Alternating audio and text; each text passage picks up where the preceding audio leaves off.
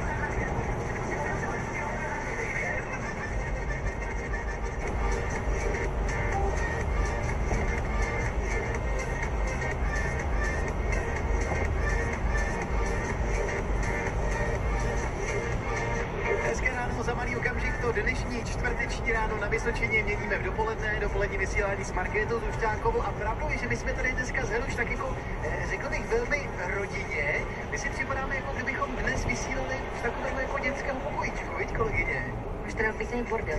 Mám, přiznám se, mám, ale vše, drobky od snídaně. Ne, takhle nám totiž předělávají nové studio a tak dnes vysíláme z takového provizorního, které je víceméně jako totožné, ale přece jenom spoustu věcí je tady jinak, je takové menší. Takže dnes se i Markéta Zušťánková bude muset tulit a už se tulí s kolegyní. Nazdar. Tulím se, ahoj, tulím se tady s Helou, my jsme si vypustili selfiečko. Proč se netulíš se mnou tady? No, ona to čímala nabídka, protože když Markéta přišla, tak oni se budou byli